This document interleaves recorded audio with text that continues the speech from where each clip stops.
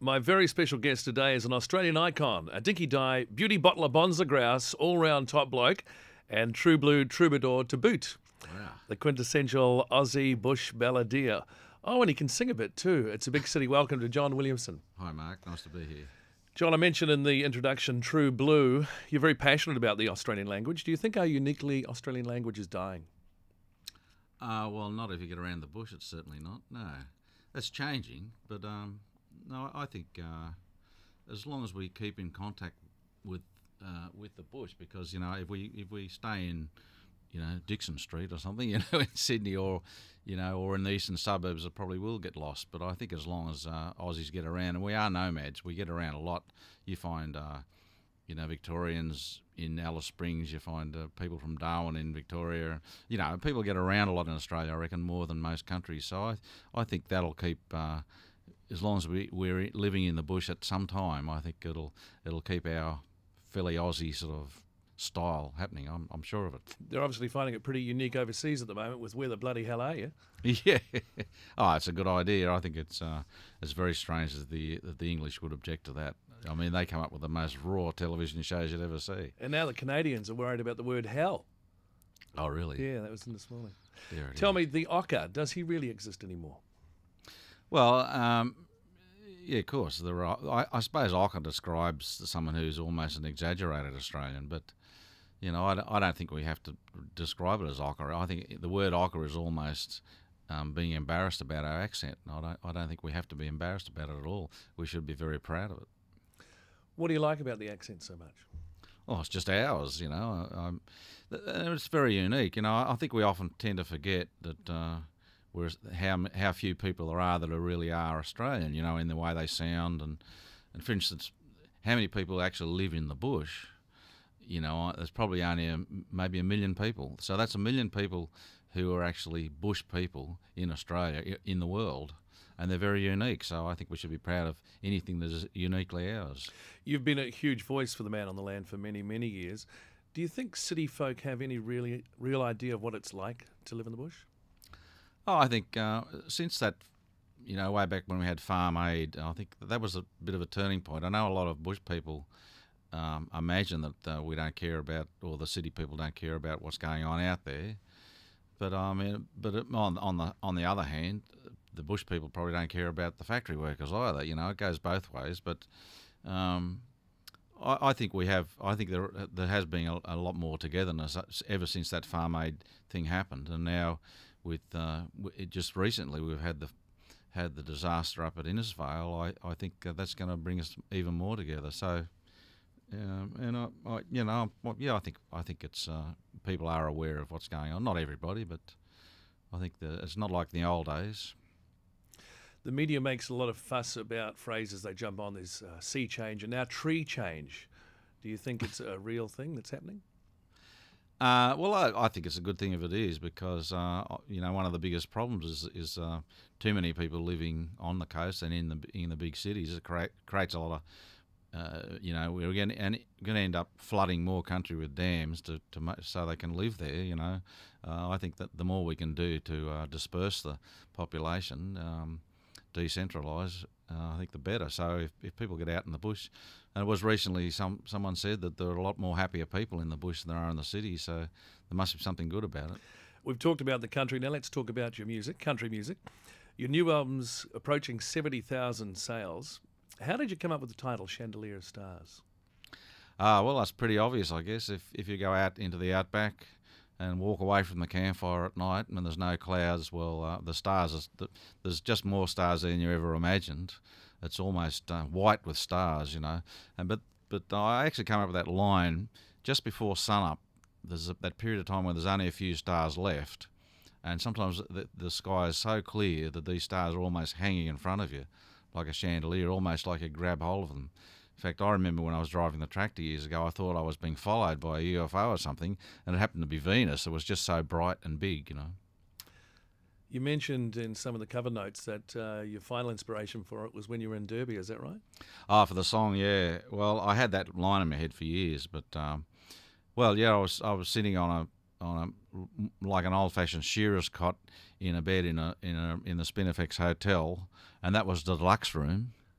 the boys they reckon they were lucky to get a room at all, and uh, I was a bit bit disappointed in the venue that they'd put us in. It turned out pretty good. We had a good night and a finish, and all all having a drink in the bar with everybody. And but uh, I guess that at those times is when you start to feel what are you doing out here? You know, away from home and away from your family and wife and all the rest of it. So um, that's when these lines came too. So actually, I had two bad nights on the trip, and I ended up writing two good songs. So you know, I always look on the bright side, eh? I know what you're talking about it because I flew down from uh, the uh, top right to Broome and stopped at Derby on the way just at sunset. It's one of the most amazing sunsets I've ever seen in my life. Oh, yeah, it's a lovely area. The Kimberley's just amazing. You know, well, the baobab trees are what get to me. Yeah, yeah, just a complete view, isn't it? Mm. Little Girl from the Dryland. These are very personal lyrics. Mm. It's track one on the CD. It's about the difficult childhood of your wife, Mary Kay. Is it hard to expose such personal, painful memories? Uh, well, I, I, made sure she was cool with it. Um, and her dad was always open about his alcoholism. He, he started AA in Goondiwindi when in fact he didn't. We, we reckon in the finish he hadn't really given up the grog at all. So he was a bit of an old con artist, old George. A lovely old fella, really. But um, like many people who came back from uh, from from the war, they hit the bottle when they came home. He got the soldier settlers block out there at uh, on the Taloona Plain. Anyone that lives out that way will know what I'm talking about. It's between halfway between Moree and Goondiwindi, basically, west of the highway. No trees, and uh, well, you can imagine Mary Kay doesn't have fond memories of the bush. You know, that wasn't a very romantic place to live. It was uh, very dusty and isolated. They did uh, correspondence at one stage, and she, I often remember her telling me that uh, if the insurance agent came out or something, that's about the only visitors they got.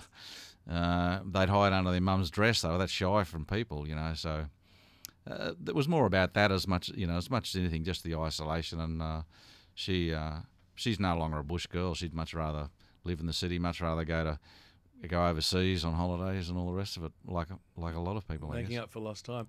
How did you meet her? Oh, well, I actually met her on the land uh, property next door. Uh, uh, they had a Christmas Eve party, 60, 1969 and she'd only just come back from boarding school, and uh, there she was, standing by a tank stand. Very unromantic, but uh, she, very beautiful girl. And uh, I was uh, I was a few years older, and uh, that's what happened. Christmas Eve on the neighbor, neighbouring property. They always had the Christmas Eve party, so I'd probably she'd probably been running around the lawn as one of the kids for years, and I didn't even know. So, uh, is this the first song you've written about it?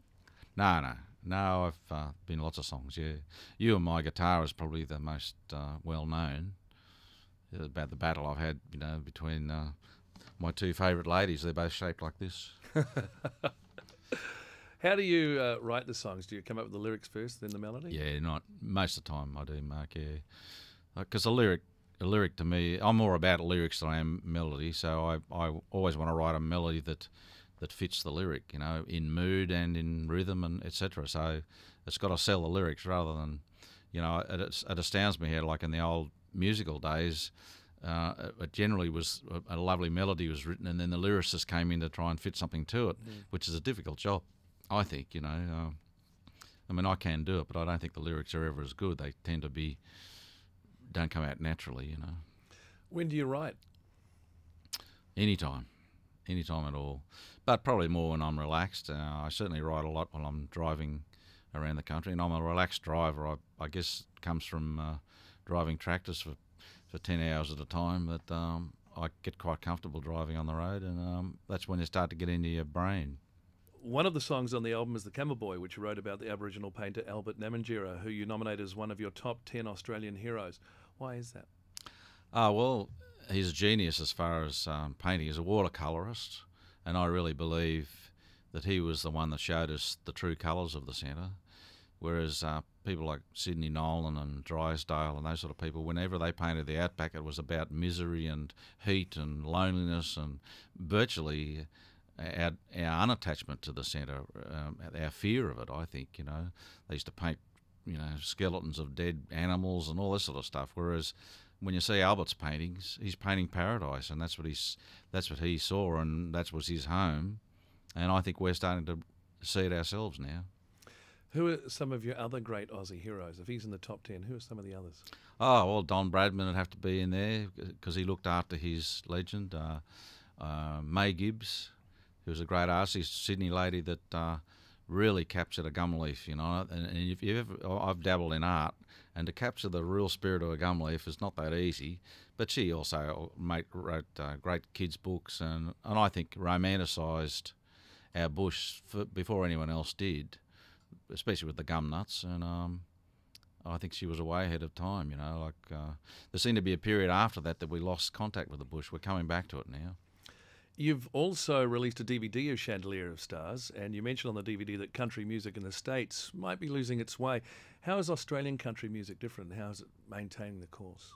Well, it has so far, and it, mainly because uh, we have, you know, it's important that we, we recognise the foundations of our music, and that, that is the, the original balladeer stuff that came through from Banjo Paterson, Henry Lawson, people like Slim Dusty, Stan Coster, Buddy Williams were all huge fans of Henry Lawson and Banjo Paterson, And, uh, and that was the style that they wrote. So it sort of came from that with music.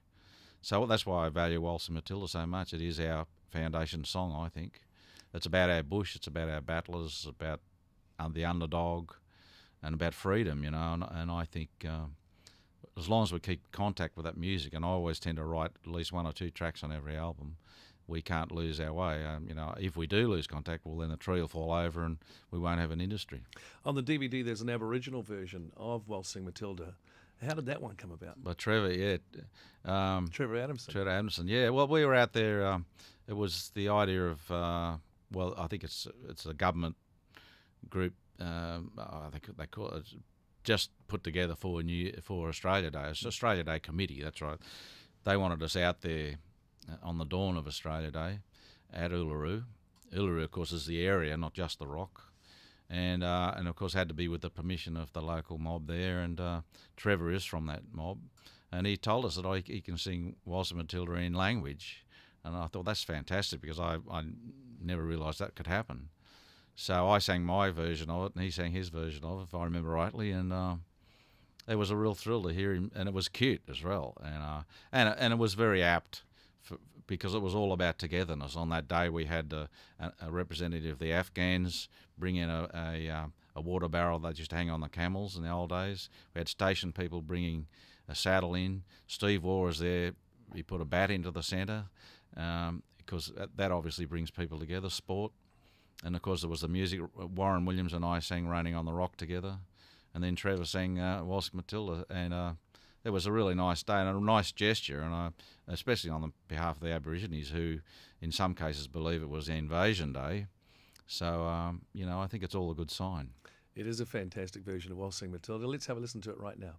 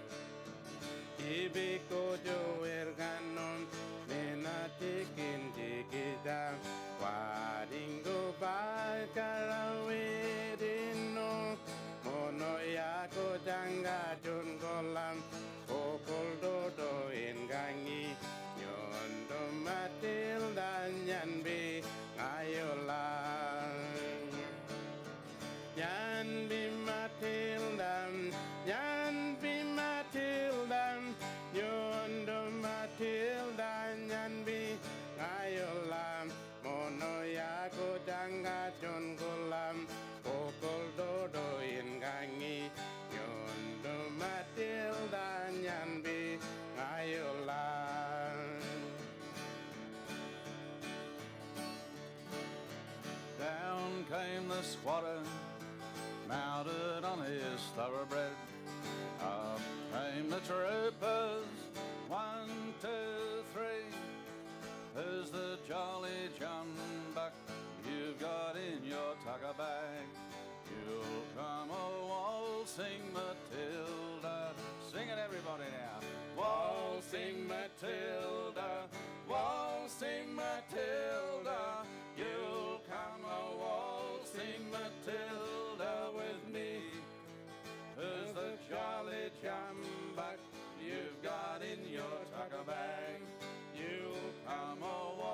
sing my tale.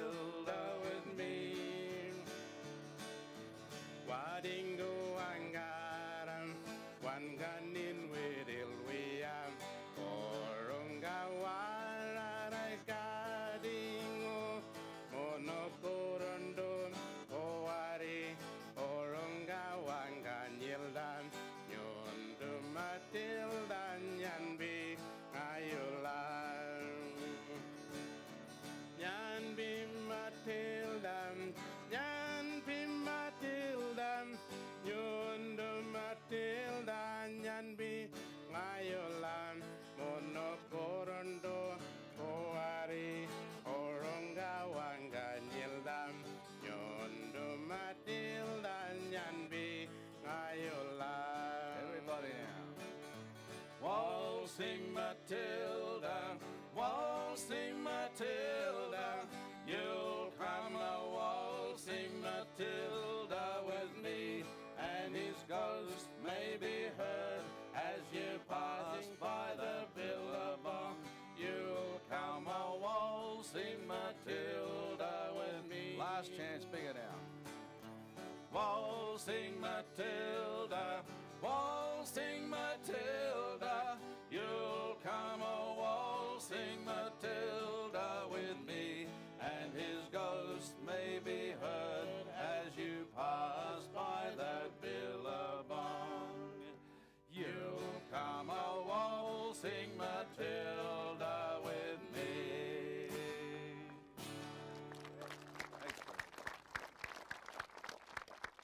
Coming back to the album Chandelier of Stars, tell me about Warren Williams and the song Keeper of the Stones. Yeah, well, um, Warren uh, is from the Western Arrernte mob. He's, he, he's, in fact, Albert Namatjira's great nephew. So that's how I was able to find out a bit more about Albert for the song Camel Boy. He told me that Albert was a camel boy at one stage, or regarded as such. But uh, Warren rang me uh, back in '96 with the idea that I would record, re-record my song, uh, sorry, "Raining on the Rock," with him, and it mentions Albert Namatjira too. It was all quite a coincidence, and I, I was wrapped in the idea, you know, because I, I've always really wanted to have a friend amongst amongst a mob that still has a connection with the land, which the around Hermannsburg they do. The the Hermannsburg mission have handed it back, and uh, but Warren, uh, like most young Aborigines, have, have, have gone through that that whole lack of respect for themselves, which we took away from them generations ago. And uh, but recently he, he's become uh, keeper of the stones on his mother's side, which is quite an important role. He's like the lawyer of his mob.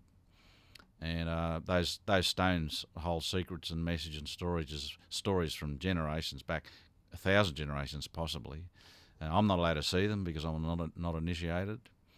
But uh, but I wrote the song about Warren and what he's been through with the petrol and the grog and all that. He admits he's quite open about that whole thing. In fact, he's now becoming quite a part in uh, helping the other kids get through that out in the, out in those areas. But uh, but it's not just about him, of course. Uh, the first verse, I, I say, if you take me from my land, you leave me with no soul. Well, I feel exactly the same way. I feel uh, as attached to the land as he does. I think, and um, but uh, but I dedicate the song to all those who've been through what he's been through. You know. Do you reckon our Indigenous people are getting a fair go?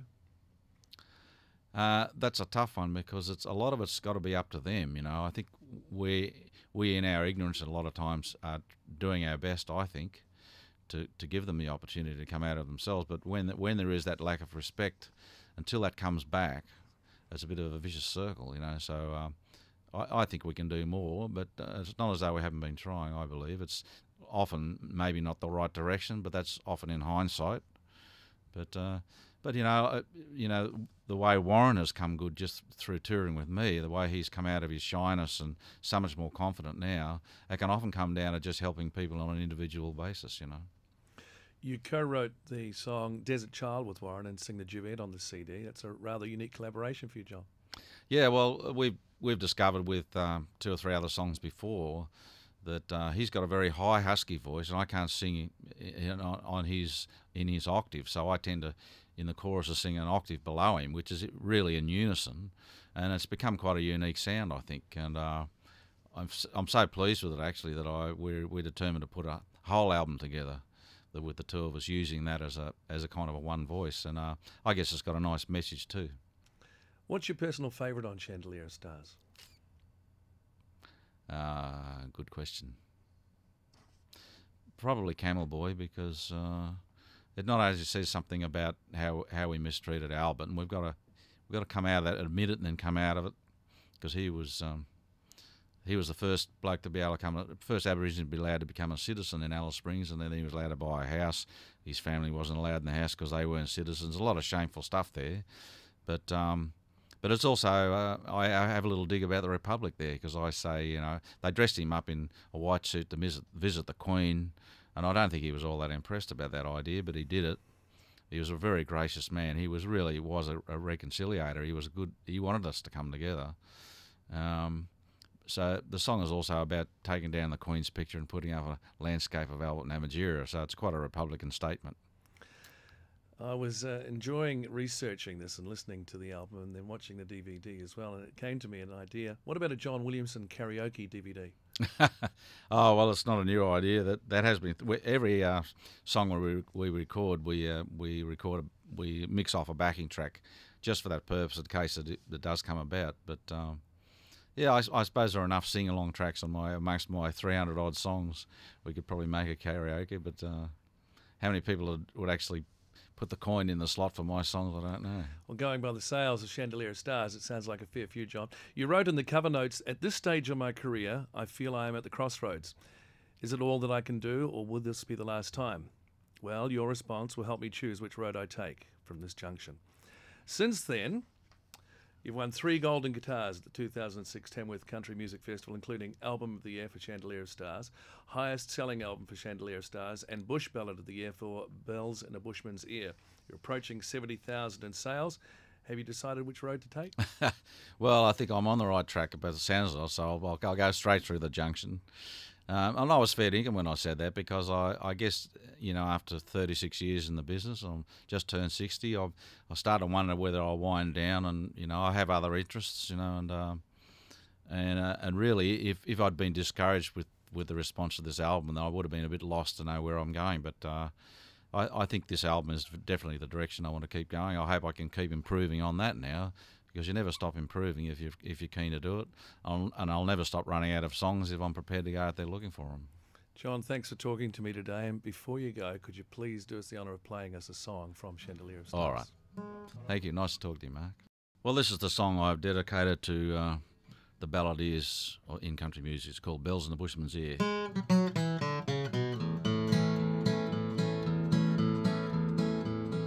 Don't knock the old hillbilly People love 'em out in the bush. Simple tunes with words that you can hear. You don't need complications where hearts are kind and true. Just words that ring like bells in a bushman's ear. Maybe you need to stroll down a little dirt track. Slow down a walk in time with a drover. Hear the wind play a tune on the cypress pine. You don't need beer and you don't need wine, just words that ring like bells in a bushman's ear like the hovering kite that whistles, telephone wires that hum, thunderstorms that rumble loud and clear. He smells the rain that's coming, hear the cocky screech and yell, words that ring like bells in a bushman's ear. Maybe you need to stroll down a little dirt track, slow down a walk in time with a drover. Rattle an enamel mug with a spoon. Talk to your dog or talk to the moon with words that ring like bells in a bushman's ear. Yeah, rattle an enamel mug with a spoon. Throw him a bone and make him swoon. Words that ring like bells in a bushman's ear.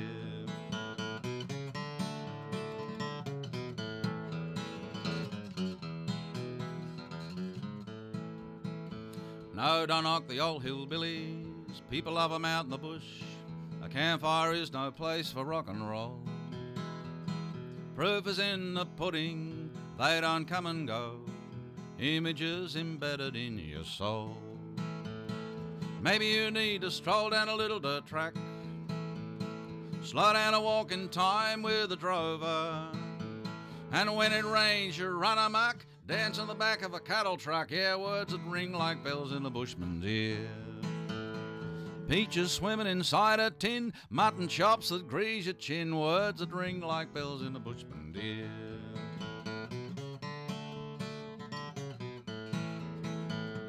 Words that ring like bells in a bushman's ear.